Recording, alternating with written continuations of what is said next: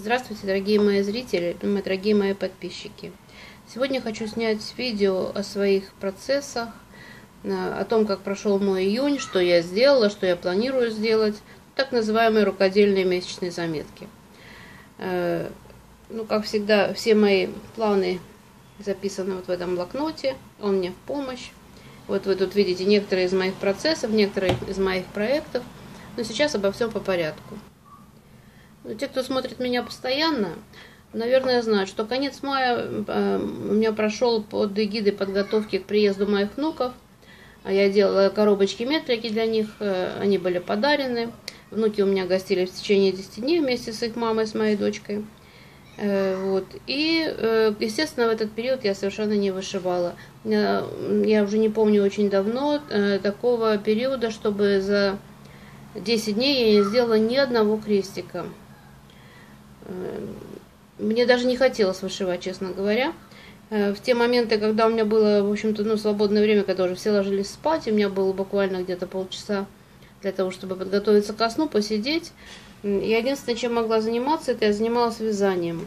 Э, я уже показывала, что у меня в процессе вот, такой, вот такая работа выполненная крючком. Это я вяжу маленькую занавесочку на кухонное окно, филейной вязкой крючком, значит, из хлопковых ниток вот таких, да.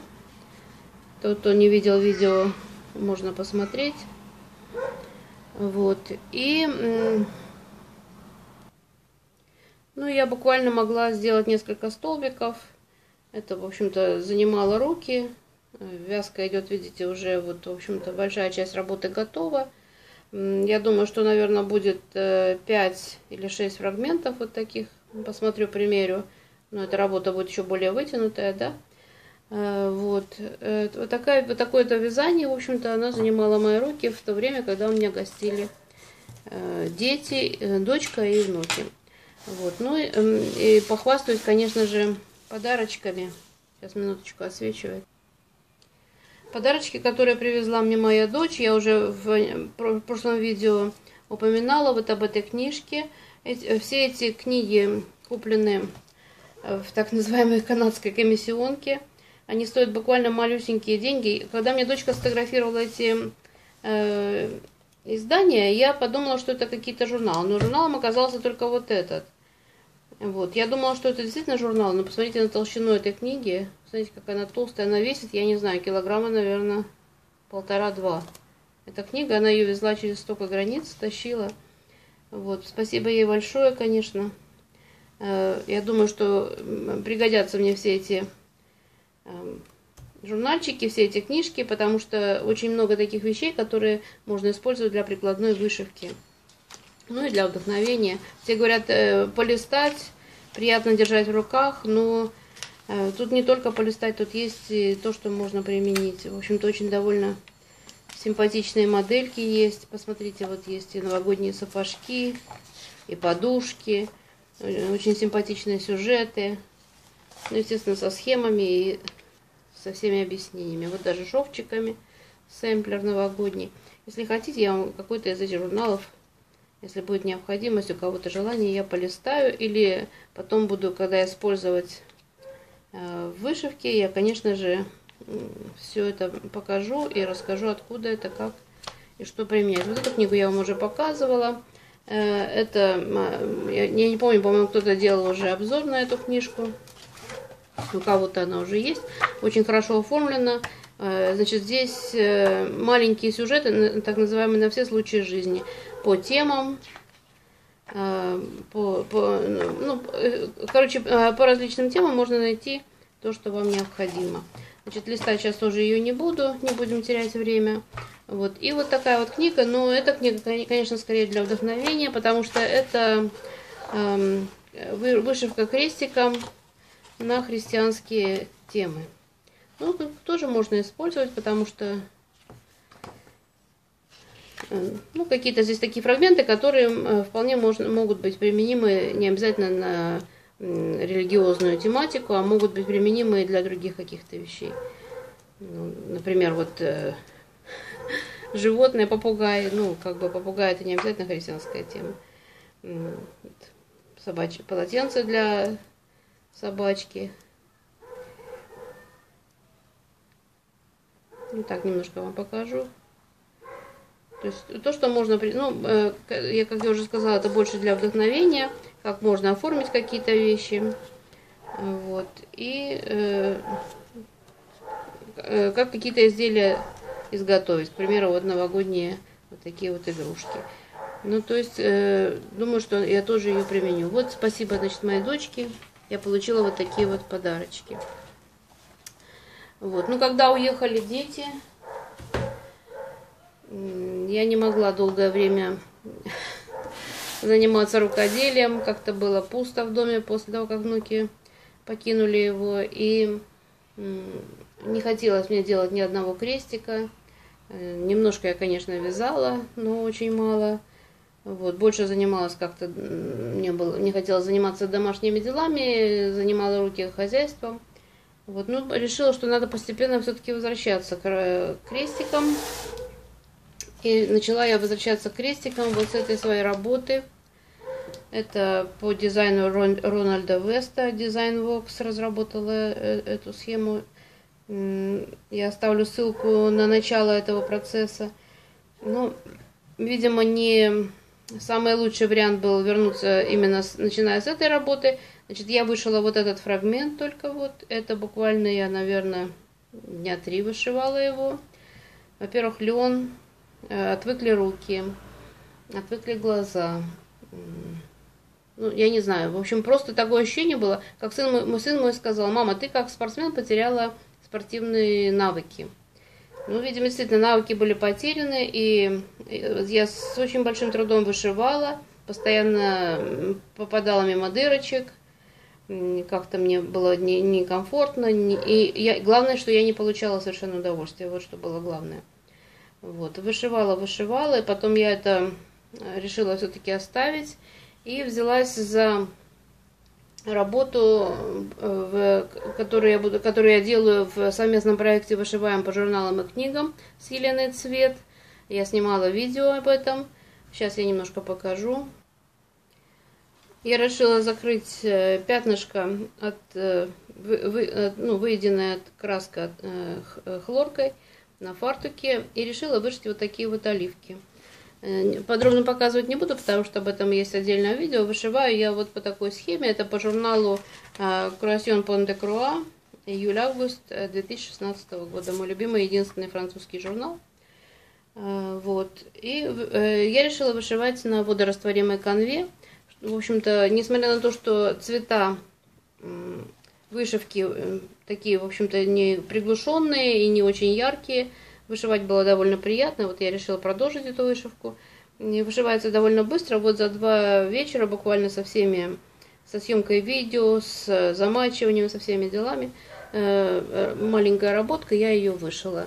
Ну, видимо, то ли это меня вдохновило, то ли просто я уже начала втягиваться в работу. Ну вот решила снять видео о своем вернувшемся вдохновении. За это время я получила одну посылочку, мой заказ с сайта 123 Stitch. Ну, заказала там буквально мелочи, вот э, бобинок пластиковых немножко. Я вышиваю по цветам, и э, все ниточки я наматываю на бобинки. Поэтому иногда у меня бывает нехватка бобинок, я буквально самые разнообразные использую в работе. Вот, заказала вот такую схемку, которая называется, видите, сами Let's, Let's Visit Canada. Я хочу это вышить, чтобы это было Эм, стимулом, чтобы это было посылом к тому, чтобы посетить когда-нибудь тоже еще раз Канаду. Вот. А вообще в планах моих была вышивка вот этих роз от Буцилы. Э, если помните, я заказывала раньше этот набор и хотела вышивать себе в салон. Но решила, что пока я не вышью толстячков для ванной своей, я не начну эти розы. Хотя я уже сняла, в общем-то, обзор, и уже мне очень хочется разобрать ниточки, но видите, пока я это все не трогаю, вот так оно открытое, оно лежит. Вот, и э, если помните, в прошлый раз я заказывала с сайта 123 Stitch э, вот такой вот набор, такой вот набор от Dimensions. Это вышивка э, на конве с нанесенным рисунком – Э, на печатном кресте, э, значит, дизайнерская канва, здесь вышиваются только розочки, имена, ну, вот этот вот рисунок Вот этот рисунок только вышивается. Вот. Ну, здесь много разных техник тоже. Французские узелки, леди Дейзи, Бека, конечно, много. Значит, вот это все напечатанный фон. Вот. Значит, для чего эта метрика? В сентябре, я уже говорила, у нас состоится свадьба младшего сына. И первое, что я приступлю вот сейчас, буквально после того, как закончу вот с этими оливочками на этих днях, э, я начну вышивать вот эту метрику. Но я уже говорила, что для этого мне нужно будет собрать станок. Э, вот, и, начну я эту работу. Я начну и отдельно ее буду показывать, естественно, в совместном проекте от Алла Белочки «Мой любимый Dimensions». Ну а после метрики я думаю, что будет вот эта работа. Это, этот набор я получила в последней своей посылочке с 1, 2, 3 стич. Это сапожок. А, у меня с этим сапожком вышла такая история. В предыдущем, когда в предыдущем заказе я хотела заказать его, он стоил буквально на 30% дешевле. А, вот. И я что-то я провозилась и закончилась уже эта скидка. Но мне так хотелось его заказать, что, в общем-то, когда он снова появился на сайте, я не задумываясь заказала. Ну, он стоит как, как стоит, как бы. Ну, это будет э, новогодний сапожок для моей младшей внучки. Э, я должна буду это вышить где-то для того, чтобы в ноябре месяце они уже это получили. То есть надо это будет закончить примерно к концу сентября. То есть сразу после метрики мне предстоит вышивка вот этого сапожка. Тоже когда начну вышивать, я покажу и расскажу, что там внутри. Ну и остаются у меня отложенными процессы вот эти синички, которые, естественно, уже будут ближе к зиме вышиваться. Ну и вот этот межпроцессный процесс. Э, ботаника я наслаждаюсь, когда у меня устают глаза от всего остального. Видимо, я тоже когда-то в какие-то моменты буду браться за эту вышивку. Эта вышивка идет между, как бы, как идет, идет как идет не торопясь. Вот она сейчас в таком вот виде. Э, вот, это, ну, кто не знает, это дизайн э, от парижских вышивальщиц, э, называется черешня. Вот, вышивается на подушке, у меня на 14 конве. Ну, то есть вот два вот таких отложенных процесса. То есть сейчас в процессе будет у меня, будут толстячки, будет метрика Dimensions. Будет мой вязальный проект. А, естественно, я буду участвовать в совместном проекте «Вышиваем по журналам и книгам». А, когда я закончу оливки, у меня есть еще один проект запланирован. И очень хочу поучаствовать в совместном проекте от э, Надюши Favorite, Favorite Hobby «Мой рукодельный уголок». У меня уже ну, начался этот процесс оформления рукодельного уголка – так вот, э, ну, как бы анонсирую, будут видео по э, вступлению моему в этот совместный проект с моим первым дизайном. Он тоже как бы пока временно отложен. Э, я отложила его, пока шила коробочки для моих внуков. Я отложила этот проект. Это должна быть, ну, планируется, она будет коробочка для хранения моих ну, текущих процессов. Она, то, то, что стоит на столе, для того, чтобы процесс не пылился – не валялся просто так, канва и ниточки. Это все будет сложно в такую коробку. Вот эта коробочка уже как бы в процессе. Не знаю, на этой неделе или на следующей я приступлю к ней. Посмотрим, как будет вдохновение. Э, вот. Это будет мой, мое участие в совместном проекте э, «Мой рукодельный уголок».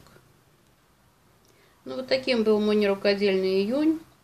Надеюсь, что июль будет более плодотворным на итоги, на результаты и на творчество.